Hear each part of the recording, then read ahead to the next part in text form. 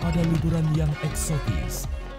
Saat membantu Sejal mencari sesuatu, Harry pun sedang mencari jati dirinya.